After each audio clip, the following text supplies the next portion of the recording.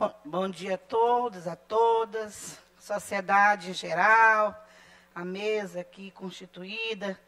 pelos nossos queridos deputados, e aqui com a presença linda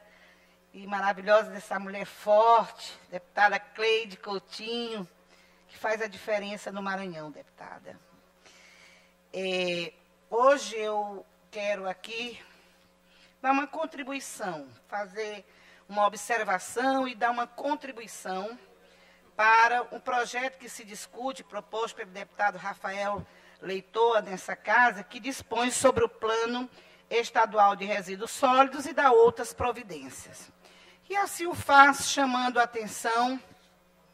não só para todo esse processo, processo de audiências públicas que serão feitas a partir de amanhã no, no Maranhão, buscando arguir, buscando é, contribuições e conhecer mais a tessitura do Estado, a textura ambiental do Estado do Maranhão, para que esse projeto possa representar os interesses maranhenses e ser um projeto que realmente venha dar conta dessa política estadual de resíduos sólidos, que é muito importante e que angustia muito, e principalmente os prefeitos municipais. É, eu estarei na comissão acompanhando e olhando o projeto de lei número 2159/2021 do Senado Federal, que dispõe sobre o licenciamento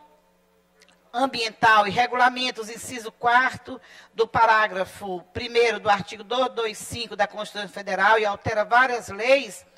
e que revoga outras e dá providência, esse projeto ele vem sendo objeto de muitas atenções de diversos segmentos da sociedade, na esfera tanto pública como privada, com forte rejeição junto aos movimentos sociais, sob a alegação de que sua aprovação configura forte ameaça aos direitos dos povos tradicionais do Brasil e significa,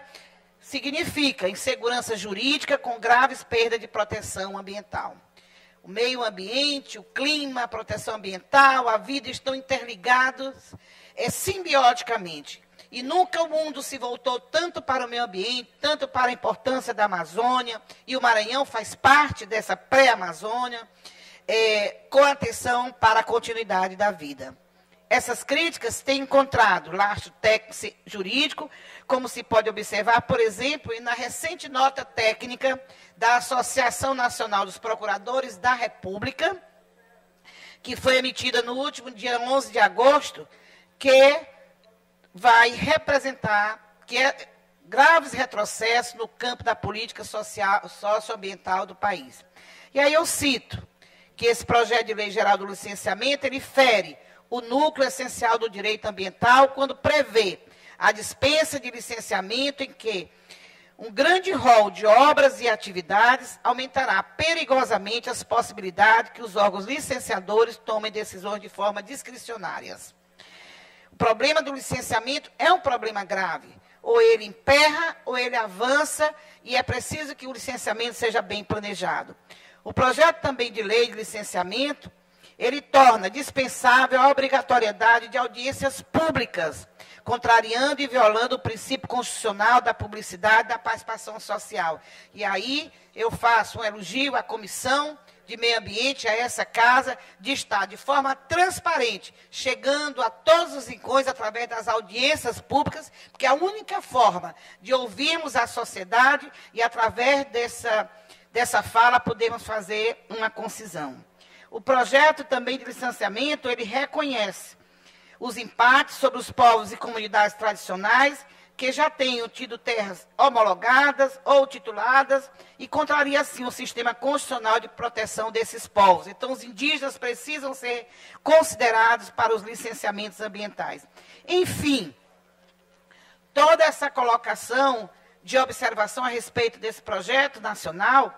vai fazer com que possamos reafirmar nossa disposição em atuar para fortalecer não só o Sistema Nacional do Meio Ambiente, e aí a minha formação me permite isso, e também, como consequência, fortalecer os sistemas estaduais e municipais, buscando, para tanto, perseguir e apoiar o fortalecimento do marco legal, observando especialmente. Estou terminando, senhor presidente, só mais um minuto. Ampliar o debate acerca dos seus impactos na sociedade brasileira, fortalecer a estruturação dos órgãos ambientais com previsão na destinação de recursos, adotar regras com critérios objetivos para o devido licenciamento ambiental, assim como a transparência e controle dos atos do poder público, assegurar a transparência e publicidade dos documentos e ampliar as medidas, principalmente de educação ambiental, como contrapartida básica para a emissão de licenciamento. Com isso, eu quero fazer essa contribuição para também